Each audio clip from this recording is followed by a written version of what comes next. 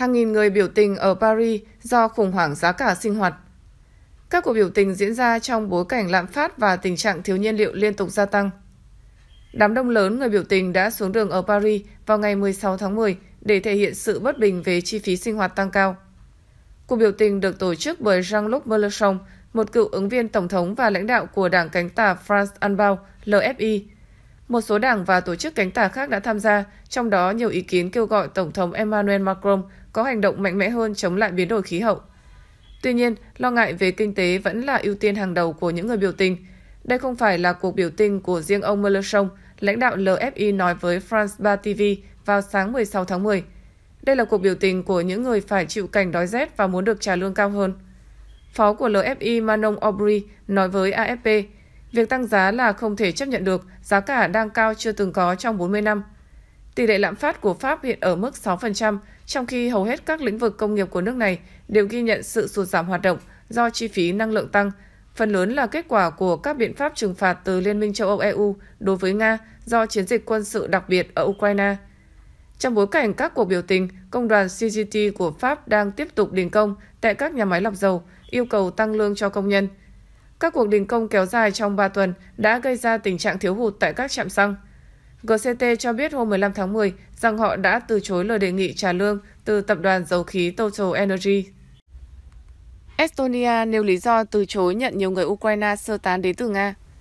Những người Ukraine đến Estonia từ Nga đã phải chờ đợi lâu dài và nhiều lần bị từ chối ở cả hai bên biên giới. Đối với nhiều người Ukraine ở Nga, việc di tản sang châu Âu là một hành trình mệt mỏi và có thể mất hàng tuần chờ đợi. Nhưng bất chấp nhiều khó khăn, làn sóng này đang ngày một tăng lên. Sau khi bị buộc phải chờ đợi 6 ngày tại trạm kiểm soát Kunichi Nagora ở phía Nga, biên giới với Estonia, trong điều kiện thời tiết khắc nghiệt dao động từ 5 đến 11 độ C, nhiều người sơ tán Ukraine vẫn khó có thể đặt chân vào khu vực Schengen. Mariupol Sobrat, một mạng lưới tình nguyện viên cung cấp viện trợ nhân đạo cho người Ukraine, xác nhận rằng hàng nghìn người sơ tán đã gặp khó khăn khi rời khỏi Nga tại ít nhất 3 trạm kiểm soát trên biên giới ở Estonia trong tuần cuối cùng của tháng 9.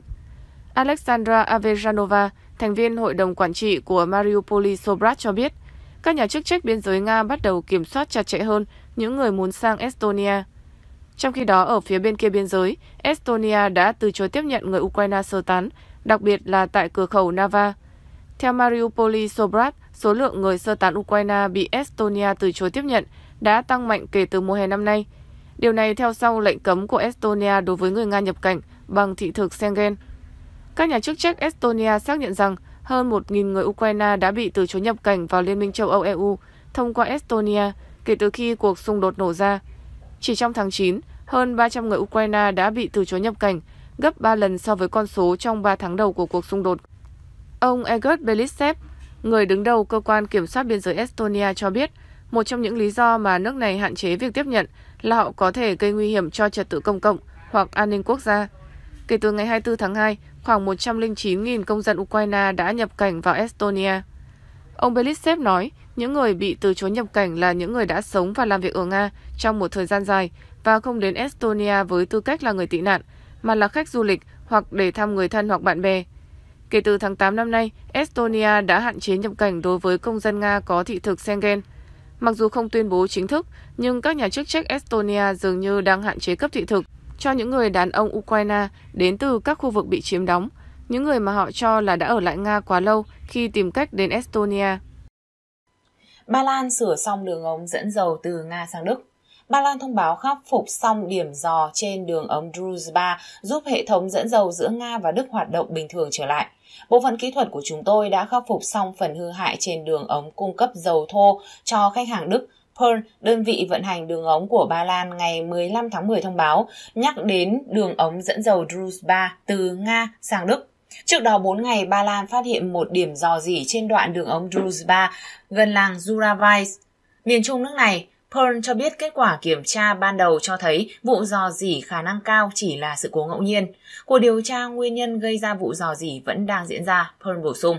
Druzhba dài khoảng 4.000 km là một trong những mạng lưới đường ống dẫn dài nhất thế giới, chuyển dầu thô từ Nga sang các nhà máy lọc dầu ở Cộng hòa Séc Đức, Hungary, Ba Lan và Slovakia qua nhánh phía Bắc và phía Nam.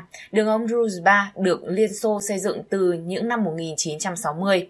Sự cố trên Druzhba xảy ra không lâu sau khi xuất hiện 4 vị trí dò dỉ trên hai đường ống của khí đốt Nord Stream 1 và Nord Stream 2 kết nối Nga với Đức qua biển Baltic. Hai vị trí nằm ở vùng đặc quyền kinh tế EEZ của Thụy Điển và hai nằm trong EEZ của Đan Mạch. Nga và các nước liên quan đều đã mở cuộc điều tra về vụ dò dỉ. Nga nghi ngờ phương Tây dính líu đến sự cố và cho rằng Mỹ là bên có lợi, trong khi Washington phủ nhận Moscow muốn tham gia cuộc điều tra quốc tế, nhưng giới chức Thụy Điển thông báo không tiến hành điều tra chung với Nga, Đức hay Đan Mạch do liên quan đến các thông tin mật về an ninh quốc gia. Thiếu khí đốt Nga, châu Âu có thể cầm cự qua mùa đông 2022, nhưng năm sau thì khó vô cùng.